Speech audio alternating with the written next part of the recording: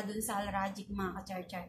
And just po ito guys, yung and just dati 17 ang charge. Ngayong nag-lockdown, mula nung mula nung nag-lockdown 26.25, pareho na sila ng Alraji guys ng charge.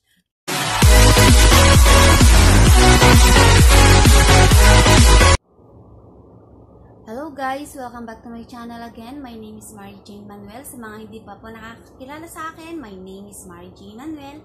And kung hindi pa po kayo nakakapag-subscribe sa aking YouTube channel, mag-subscribe na po kayo. For every time na mag-upload po ako ng aking video, manonotify po kayo kaagad-agad. So, ang dapat nyong gawin is pindutin na po yung bell. Ayan mga ka-char-char. Ngayon po, ang pag-uusapan natin, yung uh, palitan po ng real into peso, mga ka-char-char. Ayan po, mga ka-char-char.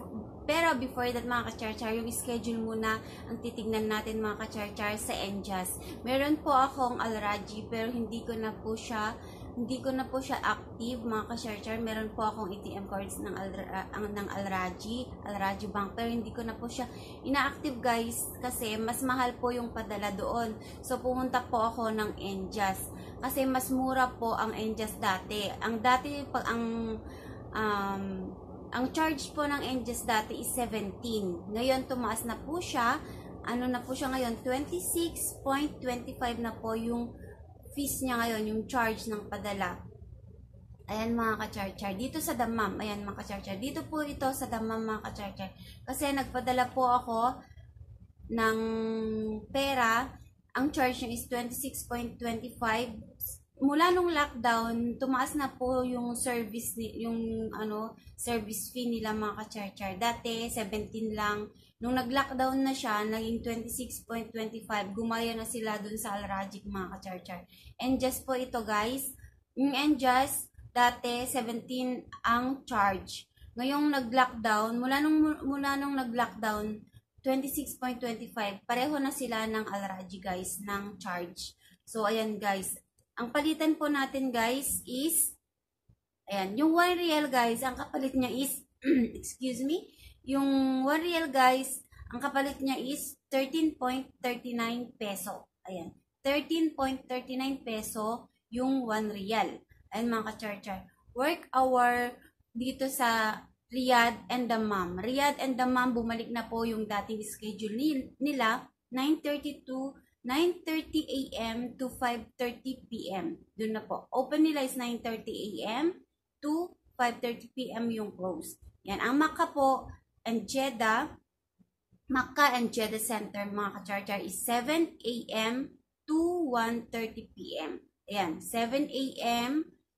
hanggang 1.30 p.m. Naulit ko guys, yung mga taga nasa Makkah at sa Jeddah Center, 7 a.m. po. Ang close nila is 1.30 p.m. So kung nandiyan kayo sa Makkah or, or Jeddah mga ka-charger, agahan nyo na lang pong pumunta para makapila po kayo dyan ng maaga. Dito sa Riyadh and sa Dammam, bumalik na po yung um, yung oras nila, yung dating oras nila ng service nila. Service hour nila, bumalik na po. Ayan mga ka-charger. 9.30 a.m. to 5.30 p.m. mga ka-charger.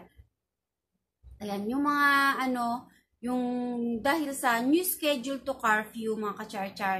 Ayan, sa ano to mga ka-charger, sa, sa Jeddah, 8 a.m.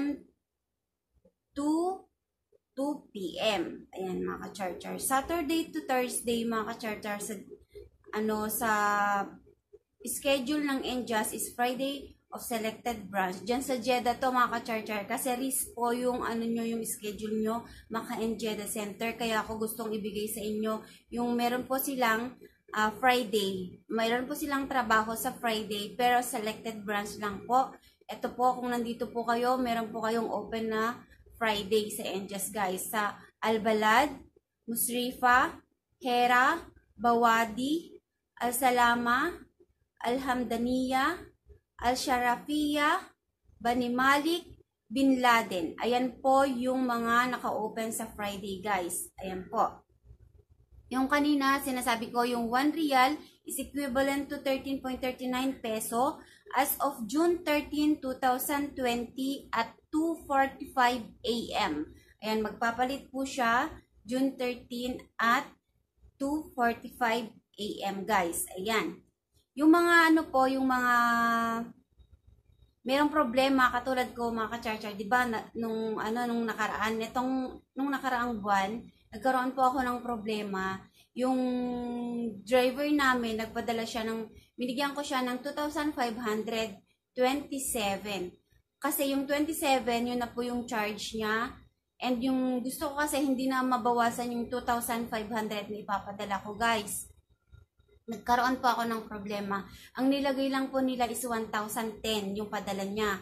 So, yung ano, yung 1,517, nawawala siya. Saan pumunta guys? Ayan, nagkamali po yung teller. Ang naisulat lang niya is 1,010.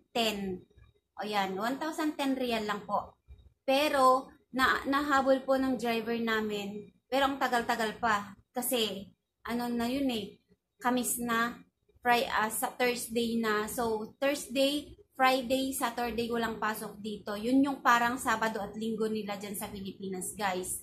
Ayan. So, dalawang, dalawang ano, dalawang araw na natulog. Sobrang hindi ako makatulog, hindi ako makakain. Inis ko paano, saan napunta yung pera na yon Mas malaki kasi yung na nawawala kaysa dun sa napadala sa pamilya ko. So, yun yun, hindi ako makatulog, hindi ako makakain. So, pumunta siya, yung ano siya,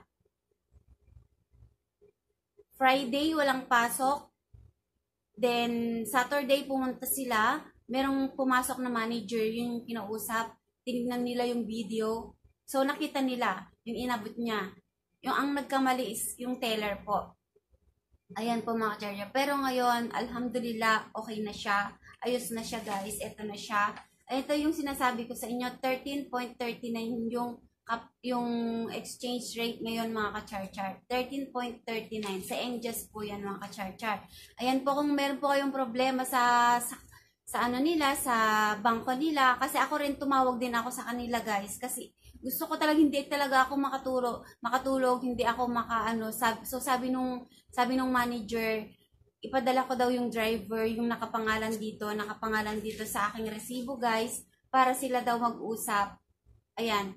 So, ayan, naayos nga.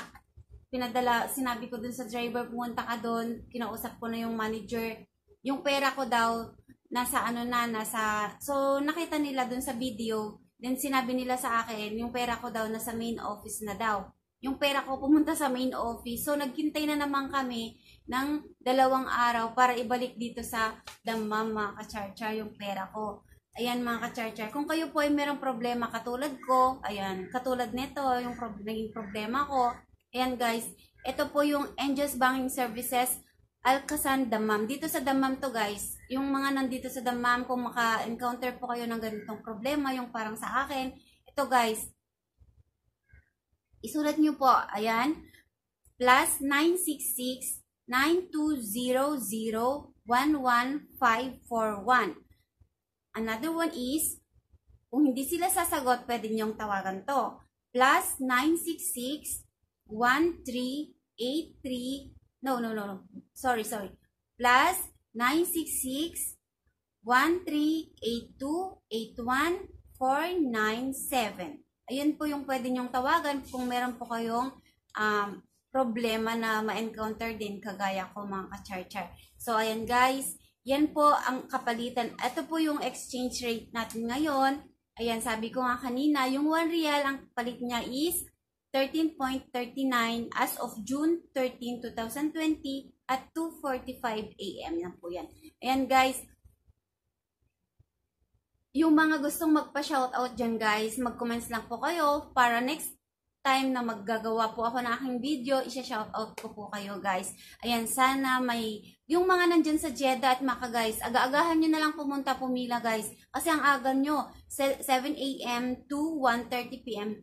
Ano siya, maaga siyang mag-close kasi nasa ano pa lang po kayo, nasa, nasa curfew pa lang kayo mga ka-char-char, nasa lockdown pa rin kayo. So, ayan guys, Ayan guys. So mga hindi pa po nakapag-subscribe sa akin guys, mag-subscribe na po kayo. And don't forget to like, share, and like, share, comment, and subscribe to my YouTube channel. Ayan mga ka-char-char. Para lagi po kayong na-update sa aking mga videos. Guys, ito po yung ito po yung exchange rate ngayong lockdown mga ka-char-char. So see you guys on my next vlog.